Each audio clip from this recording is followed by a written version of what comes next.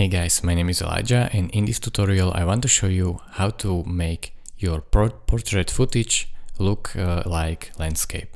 So first example is this one, where this portrait shot we want to make it landscape.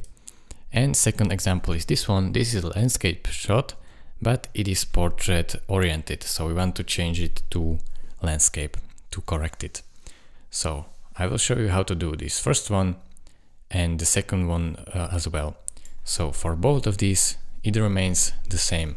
Go over to File and uh, Project Settings. And now you have resolution and aspect ratio. Click on aspect ratio and choose 16 by 9, which is widescreen. Press OK.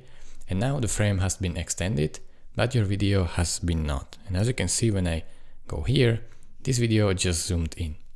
So for this example, just zoom out a little bit with this scale and then you can flip it just with this button to make it landscape.